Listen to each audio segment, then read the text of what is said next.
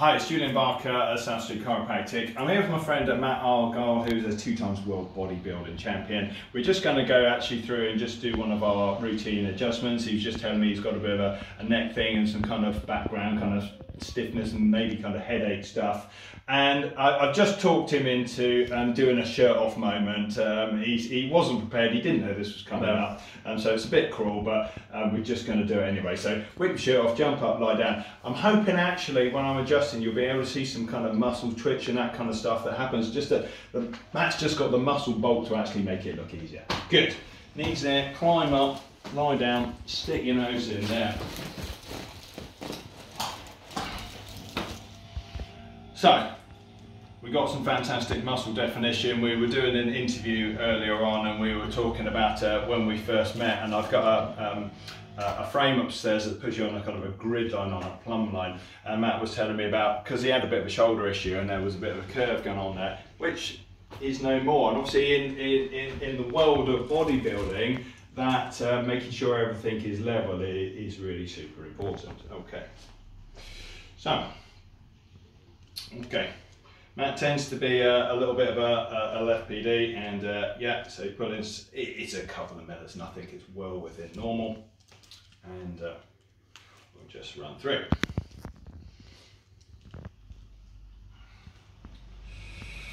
Okay.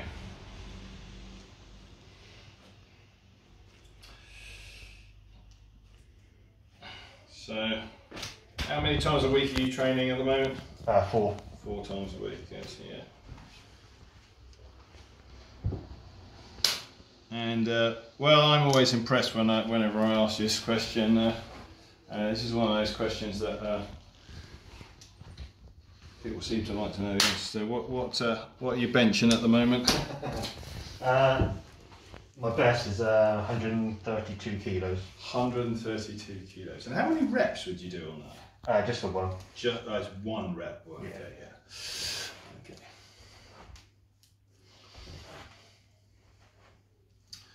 So for those who've uh, watched these videos, you'll see I'm just running through what's called the essential scan, uh, as we normally do here.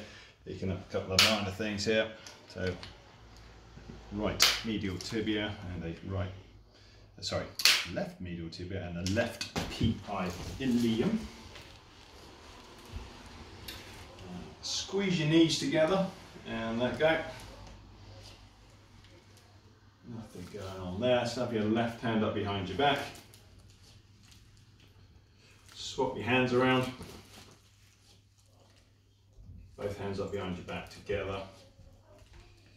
And both back down by sides. Very clear L4 there. So,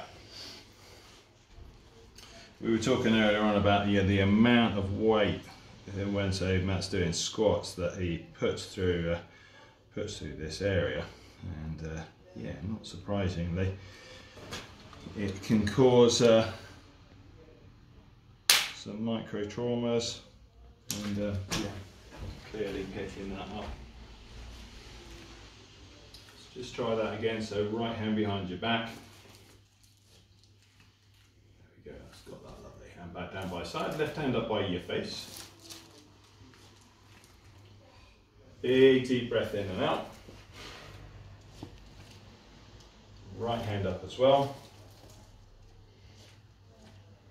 So there we go, a bit of a TA thing as I'm coming up there, getting that change. I'm just going beyond the 90 and actually that right leg is pulling a little bit more. So um, arms down by your side. So looking for a, uh, a bit of sensitivity. Matt would probably never admit to tenderness, but a bit of sensitivity around about T8 I guess would be here. Yeah I'm feeling that. So the test is accurate. It says you know there's no rotation going on. I actually need to adjust um, um, in a um, anterior inferior direction. Go down to setting 2 because when you're adjusting straight onto that well you know you definitely feel it don't you? Mm, yeah. yeah for sure. Feels like it's going right the way through you Okay, so turn your head to the left. It's uh, interesting you used the phrase when we were doing the interview, um, uh, Matt used the phrase micro adjustments. It didn't feel particularly micro there, did it? um, lift the left shoulder up off the couch and back down. shrug those shoulders up to your ears and back down. We go, very clear. T1 again coming up on the left side. You're right-handed, aren't you? Uh, left. You're left-handed, okay. Squeeze the left elbow flat against your side and let go. That makes two of us. All the best people are, eh? Yeah. Um, squeeze the right elbow into your side and let go. I think we've had that conversation in the past. Um, shrug your shoulders up and roll them back. Up and roll and down.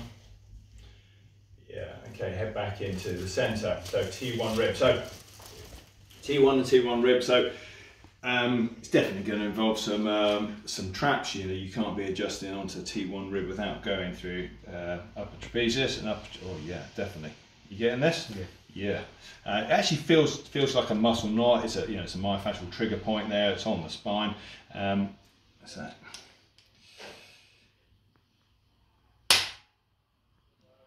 On the, when you're adjusting the T1, normally the line of drive is anterior superior, but actually you can be fairly flat onto it because the the the uh, the anterior bit, the superior bit, is, is being done by the, the curve of the, the natural curve of the spine. And coming up onto a T1. Um, I'm gonna be, I can feel there's a trigger point in I'm gonna be back there in a moment. T- retest that. Just straight inferior and, and uh, I think hopefully it shows up on the camera. I saw that big twitch run across the muscle there. So what's called the twitch response. And that means you, you know, you're just affecting that whole neuro muscle fascial component and um, functionality of that muscle. So um, just lift up your head and back down.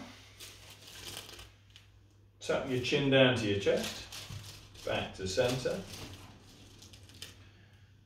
And we are on to Atlas here. Um, down to setting one. You come in there. Finger on the mastoid process, finger on the angle of the jaw. Atlas will be in the middle, just come right onto the lateral border, one of those sensitive spots anyway. And onto that. Okay.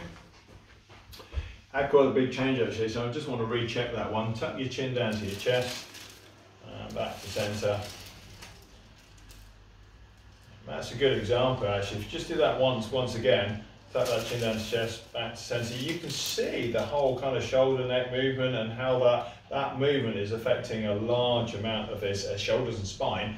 And now it's coming up level, you know, that's going to make a massive difference to, especially when you're, you know, trying to push your way through 132 kilos, you know. Um, stretch, uh, stretch your left hand towards your left knee and back round.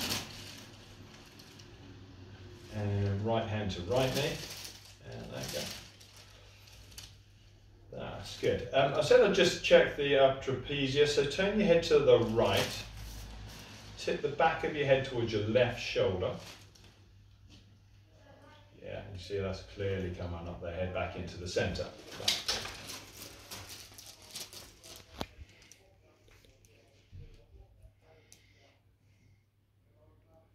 Find that trigger point there. And again, straight into it. Cool. Good. I'm going to stop there. I'm actually just going to do another video just focusing on things for headaches with Matt and we'll just do that as a separate video and I'll, I'll see you next time.